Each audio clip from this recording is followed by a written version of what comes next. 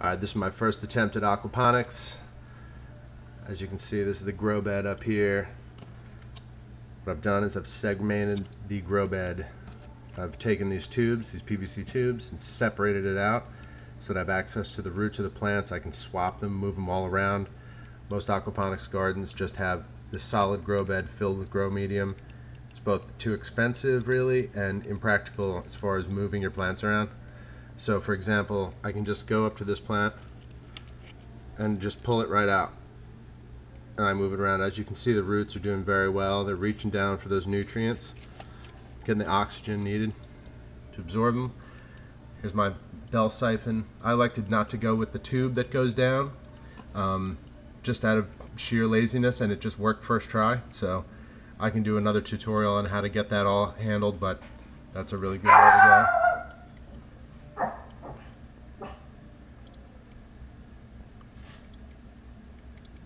As you can see here, all the vegetables are doing super fantastic. Right now this thing is about to cycle any second. You see down here the fish tank. I don't have a sump so the water gets really low.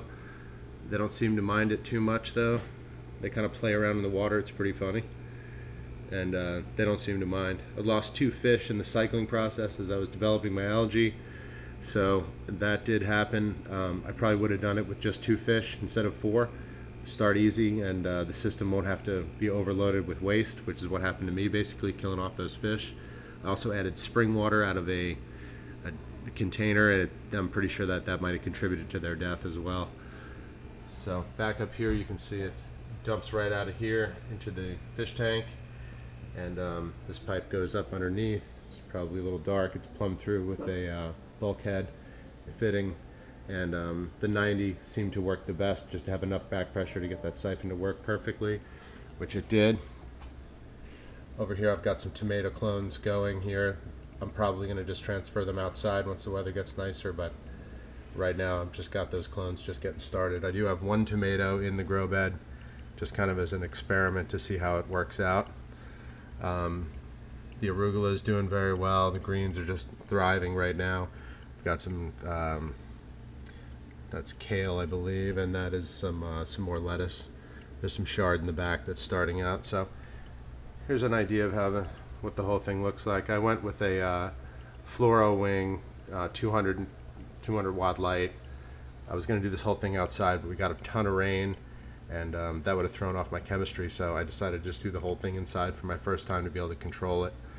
And um, just go back over here and see these these guys. They were just transferred into this uh, the grow bed. Just see, I got a couple of tubes. I got plenty of them. I can move it all around. It's a modular system. I would suggest trying something like this. It's a little bit more work to cut all the tubes, but once you have it all cut, then um, you really have a, a, cleaner system. And like I say, you can move this stuff around.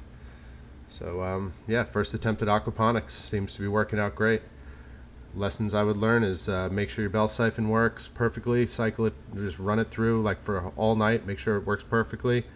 And um, the next thing would be uh, don't add too many fish. Wait for your algae to develop. It just takes time. You're just to have to wait. And um, there's nothing you can really do about it. So see you next time.